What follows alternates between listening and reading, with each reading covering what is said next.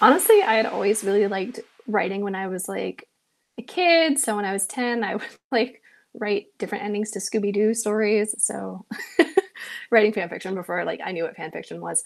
Um, and then in high school, I decided I wanted to actually start seriously pursuing writing. So I wrote a book for National Novel Writing Month and then tried to get an agent with it. And because I was 15 and like it, it was an okay book, but it like it didn't work out. Um, and then, but then after that, I was like, oh, I really like this. I kind of want to pursue this as my as my career. So probably high school and beyond. My first book is called Who I Was with Her. It came out from HarperCollins um, about a month ago on September 15th. It is about a teenage girl whose secret girlfriend dies, and no one knows they were together because um, the main character, Corinne, wasn't ready to come out as bisexual. So a lot of the book is her dealing with that grief of having lost her girlfriend, and the only person that she can turn to is her girlfriend's ex, Alyssa. So they start to kind of have a connection as well. And the book is done in dual timelines. So it flashes back and forth between um, Corinne dealing with grieving over Maggie's death and then showing Maggie and Corinne's actual relationship before Maggie died. Fun answer. I'm actually I'm drafting something right now. Um, I my work schedule is a little bit weird because I do work retail as my day job, so I don't know that schedule varies from week to week.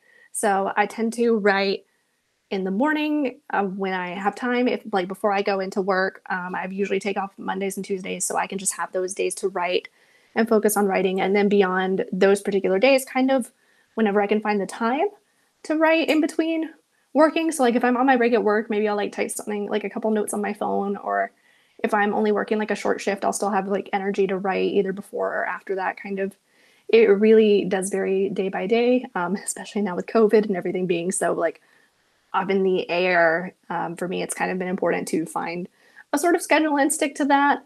So usually, I think usually I try to write in the mornings, probably for about 30 minutes to an hour, sometimes longer if I'm like really getting into it.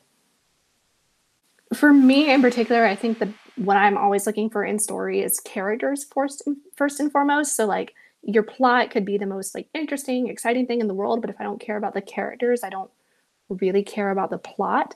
So, because I, I I read it kind of across genres, so I'll read whatever genre, but as long as like the characters and their stories and their particular struggles are interesting to me, then that's what's going to make a really good story for me. Because if you've got a really good character, then you've got you know you've got the stakes are there, you've got that tension already because you care about what's going to happen to the character, you care about what they want, you care about the things that are standing in their way, what's trying to get them from getting what they want.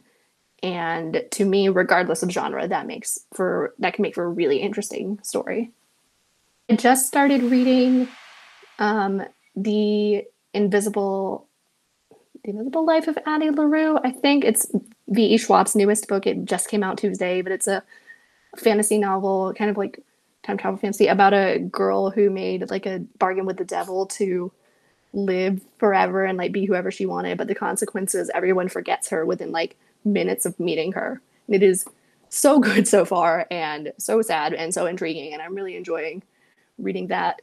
And then the author of Hyperbole and a Half, the which is a fun little comics, Allie Brosh, just her new book just came out, and I was like, oh heck yeah! So I've been reading those as well.